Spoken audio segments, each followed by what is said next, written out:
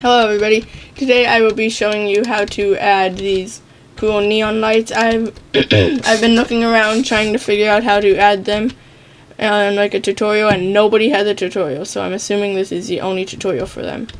It's actually kind of easy. So first if you have ProBuilder installed you don't really need ProBuilder I just like it because you can make them easier. And so what you want to do, you want to make like a cube or a thing. You want to create a new material. So create material. And then in the material name it just something whatever you want. I'm gonna make it mine be green. So I'm gonna put that on here but see it's not glowing. And you want it to glow.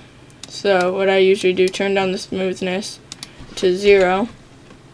Turn off both of these and turn on GPU instancing. That just saves a bunch of lag so then you it doesn't lag as much. And and here these just make it so it doesn't reflect anything and then and then right here for emission you want to turn that on.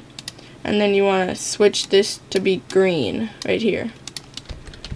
So once it's green if you don't really like the color you can change a couple things like you can make it darker or something so then it doesn't glow as much. And then to like make it glow even more you want to turn this to 10 wait. Then it might turn like yellow or something you want to change that a little bit.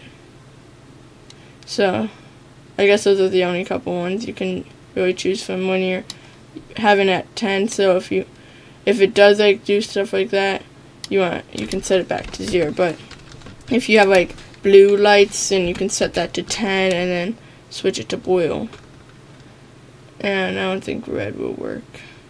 Yeah you can have it like pink blue and yellow. That's a, like the only things. You can have it at if you have it the intensity at max but and so that'll be it for today's tutorial. If, well, the second today's tutorial. If you guys want to subscribe, you can. I'm not, like, begging you. It would just be nice if you did subscribe. And you can adjust a couple things in. In the volume, in your, if you have if you have URP installed, you want to use your volume and turn up your bloom. So if you turn up your bloom, the more it will glow, but also the more other things will glow. So like if you turn down the threshold like that and turn up the bloom, it will really start to glow. But then also the galaxy will cool and stuff. But if you want it to just like look neon, you can just do that. And that will be it for today's tutorial. I already said that, so bye.